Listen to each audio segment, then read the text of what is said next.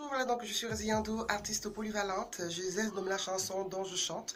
N'oubliez pas de vous abonner, de partager et surtout de m'envoyer tout plein de cœur parce que moi les cœurs j'en raffole. Alors je vous ai fait une vidéo où je vous parlais justement de mon métier d'événement planeur et je vous ai dit que je mettais aussi en scène certaines ambiances pour mes clients pour des dîners de tête à tête ou des dîners en amoureux.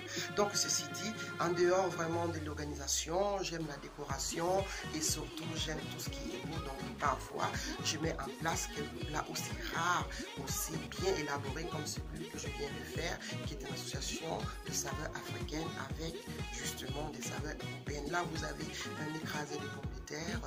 Au Cameroun, c'est appelé parfois le les pilées et puis on a un assortissement justement d'haricots verts, beurre et haricots verts normal et aussi une écrasée justement de poissons sautés avec des légumes façon méditerranéenne, voyez-vous.